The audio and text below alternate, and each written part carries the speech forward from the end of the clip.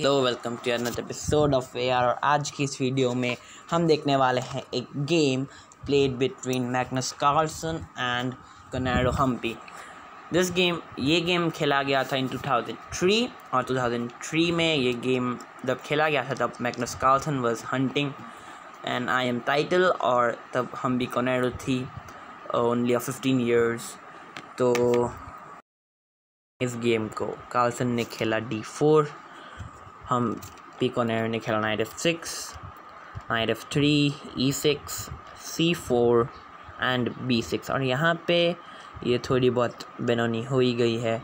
Then g three bishop to a six this is very much novelty b three d five bishop to g two bishop to d six और ये जो bishop है white का this is very nice bishop edge to uh, black's dark bishop और black's light bishop. Castle both sides are castle दोनों ने ही castle कर लिया है. Knight b d two queen to e seven और क्वीन टू ई सेवन के साथ black uh, का आइडिया ये है कि बिशप को वो ए थ्री में लाना चाहता है और वाइट का जो डार्क स्क्वायर बिशप है उसके साथ ने डार्क स्क्वायर बिशप को एक्सचेंज करना चाहता है. यहाँ पे क्वीन सी टू खेला कार्लसन ने बिशप टू बी सेवन और अभी ये बिशप और आ, मतलब वाइट का लाइट कलर्ड बिशप और ब्लैक का लाइट कलर्ड बिशप दोनों आमने सामने हैं मतलब आप बोल सकते सकते हो कि दोनों एक दूसरे को चैलेंज कर रहे हैं। तो we have bishop to b two knight to a six knight to h four और नाइट टू एच फोर का पॉइंट ये है कि अभी वाइट जो है later knight to f three खेल के knight knight to f three खेल के जो ई e फाइव है इसे स्टॉप करना चाहता है बिकॉज़ अगर ई e फाइव आया then white has this brilliant move which is knight to f five so that is the point of knight to h four and knight after knight to h four we have bishop to a three bishop a three खेला गया अपने dark bishop को exchange करने के लिए.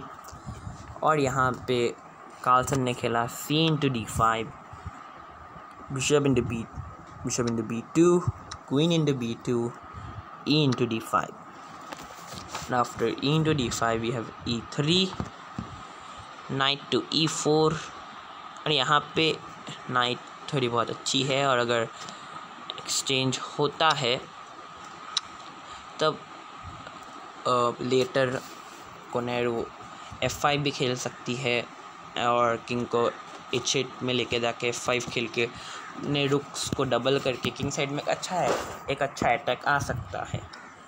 तो पीछे चलते हैं after knight to e four हम देखते हैं knight h two f three और जो कि अगर मैं थोड़ा ज़रा सा बैक जाऊँ, इस पोजीशन में कार्लसन ने खेला था knight to h four point था एफ़ फाइव क्यों?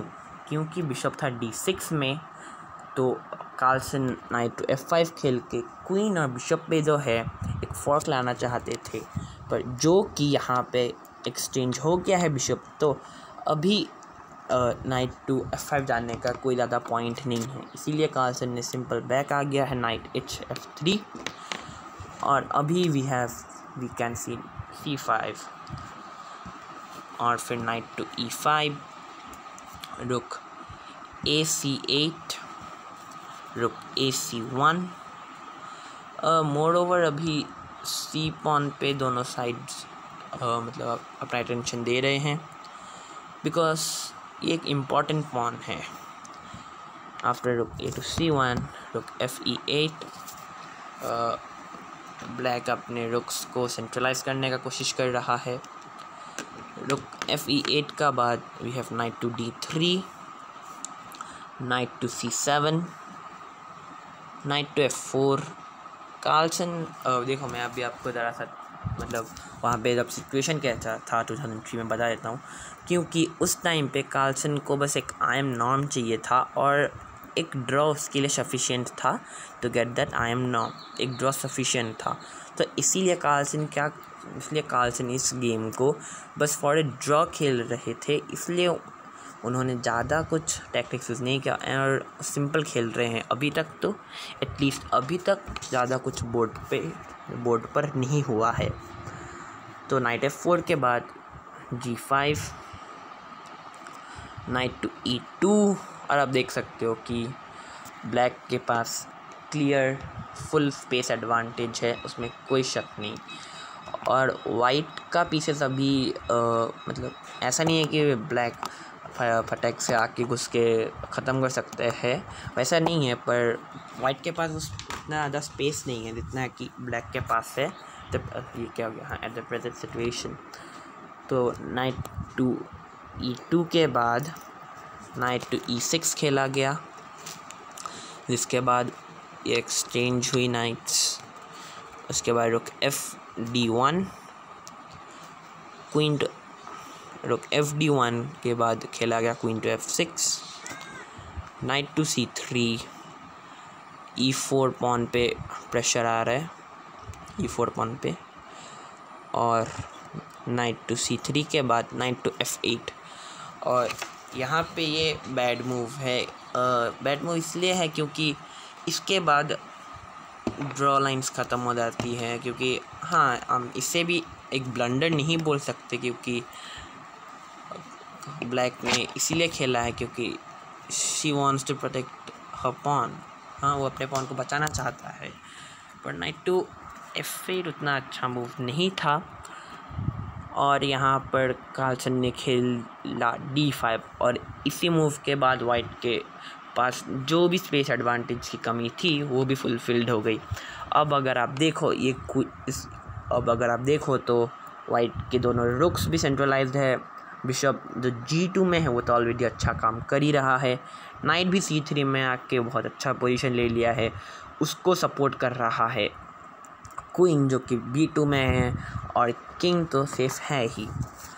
तो डी फाइव के बाद we have bishop to a six और ये जो बिशप की पोजीशन है ए सिक्स में, वो मुझे उतनी खास नहीं लगी। वी अभी हमारे पास है queen to c two the point is कि अभी कार्लसन अपने नाइट को खेलना चाहते हैं और जो कि क्वीन के पास अभी एट प्रेजेंट कोई भी ऐसा प्रोटेक्शन नहीं है सच और तो इसीलिए ब्लैक का क्वीन वाइट के क्वीन नाइट को, अ काइंड ऑफ़ पिन कर रहा है. इसीलिए क्वीन टू सी टू इसके बाद आता है rook c to d eight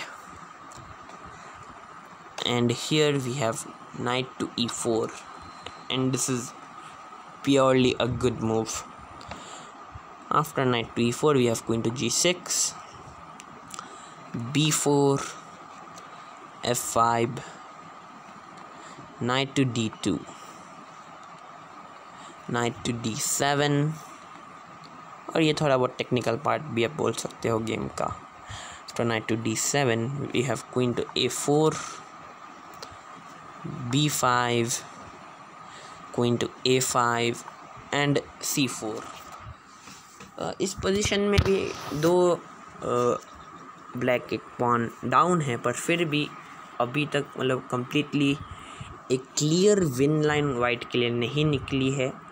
black अभी तक पोजीशन को होल्ड कर कर पा रहा है। देखते हैं कब तक। पर जो ब्लैक के लिए डेंजर है, वो है ये डी पॉन वो एक बहुत डेंजर है। अगर सम हाउ ब्लैक ने अगर इस पॉन को रोक लिया, तब उसके लिए विन उसके लाइन विन एक आ सकता है। पर कार्लसन को ये मंजूर नहीं था और कार्लसन ने खेल दिया डी सिक्स और अगर यहाँ पे से आप क्वीन डी सिक्स लेने की कोशिश करते हो then we have knight to c four which a discovered check on your queen sorry not not check which a discovered attack on your queen let's go back तो d six के बाद a four knight to b eight खेला गया। After d six we have knight to b eight और यहाँ पे Carlsen ने खेला ए फोर और d six a four these are just brilliant moves यहाँ पर कोनेरो ने खेला queen into d six a into b five rook to e five और यहाँ पे आप बिशप को नहीं मार सकते, क्योंकि अगर आपने मारा तब आपकी जो है क्वीन लॉस हो रही है। इसीलिए कार्सन ने खेला रुक क्वीन टू ए वन। और ये भी एक गुड मूव है। इसके अलावा instead of this bishop to f one भी आप खेल सकते हो। दिस इज़ इक्वली स्ट्रॉन्ग तो क्वीन टू ए वन के बाद रुक इन टू बी फाइव आया। और अभी कार्लसन ने खेला knight to e four with discovered attack on the queen here we have queen to e seven knight to f six king to f seven knight to d five and here black resigned because क्योंकि इस point के बाद आप अपनी queen खो रहे हो उसके बाद क्या ही गेम बचा। और हाँ यहाँ पे आ, आप सबके लिए एक खुशखबरी भी है कि मैंने अपने चैनल का नहीं फाइनली इतने हफ्तों के बाद एट लास्ट डिसाइड कर लिया है। तो बहुत जल्दी एक नामकरण वीडियो आने वाली है जिसमें मैं आपको बताऊँगा कि आखिरकार वो नाम है क्या। तो अगर आप उस वीडियो को देखना चाहते हो तो अभी जाओ और सब्सक्राइब बटन पे क्लिक कर दो।